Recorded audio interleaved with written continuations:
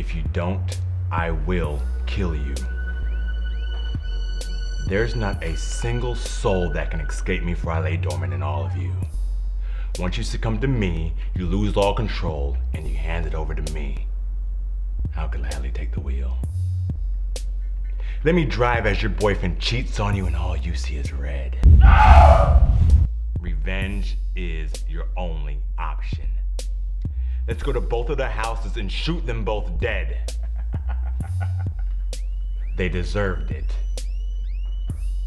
I'll sit in the passenger seat while you remain stuck in traffic, late for something that's probably not as important as you're making it out to be. Go ahead. Yell out the window. Blow your horn. Curse their names.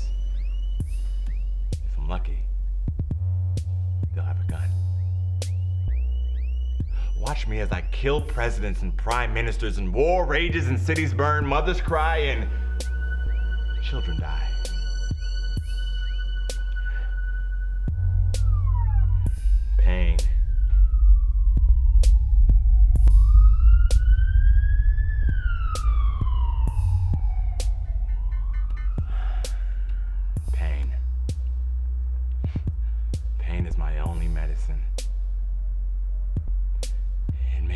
Good. I embrace fear and chaos. Those are my weapons of choice. I'll watch while your sinful children gather around in one spot, breaking down the virtues of one patient individual. Well, now's my turn. I'll go home with them. And I'll return the next day with semi automatics. Their parents should be getting a phone call soon. I end lives over drugs. I'm the one that you see in the street beating down another man until his head cracks, and then I continue until somebody tries to detain me. But it's okay. The damage is done. Allow me to shave your heads and lash out against those who look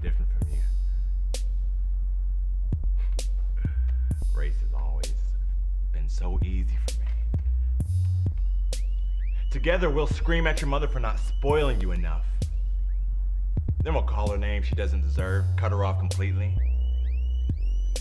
Too bad. She's grown ill in the time of your independence.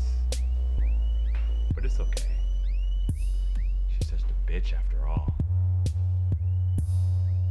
I work outward as well as inward. So for the week, I'll get them a nice little rope and tie it around their neck.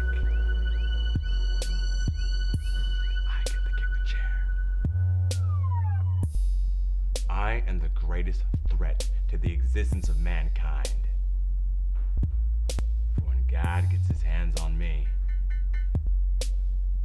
you all have something very terrible to fear.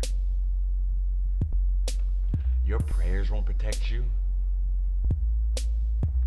Nothing